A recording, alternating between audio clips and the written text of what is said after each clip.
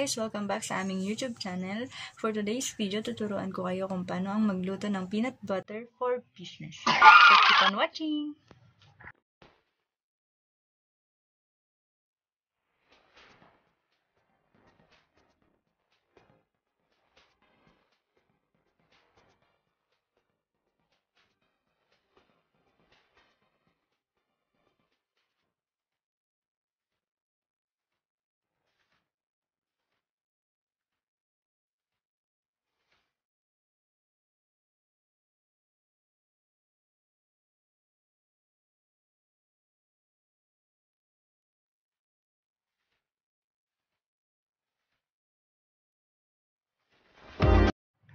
So guys, ayan ang ating peanuts. Uh, roasted peanuts na siya kasi naprito ko na siya kanina sa isang liter of oil. At saka inilagay ko na din yung small margarine natin.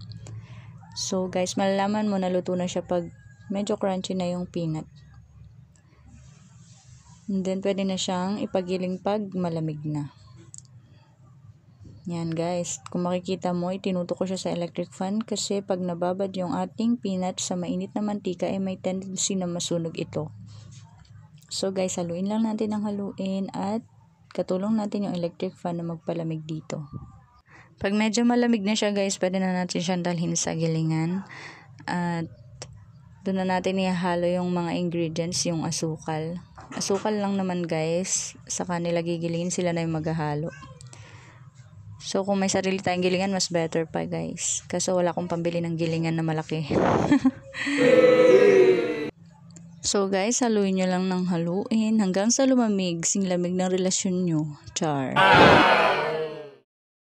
At saka guys, tatandaan niya na kapag naluto na yung peanuts at medyo lumamig na, idiretso na, na, diretso nyo na siyang ipagiling kasi kapag pinagpabukas nyo pa, may tendency na kumunat yung peanuts at mahirapan na yung makinang gilingin ito.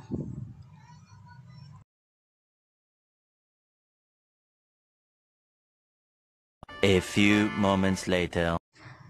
So guys, ito na ang ating peanut butter. Yan. Looks yummy. Creamy peanut butter. Tingnan nyo guys. Hindi siya yung ano, yung maraming mantika. Guys, wag na wag niyo siyang hahaluan ng harina kasi titigas siya at papangit yung texture niya. So, pwede na natin itong isalin sa lalagyan.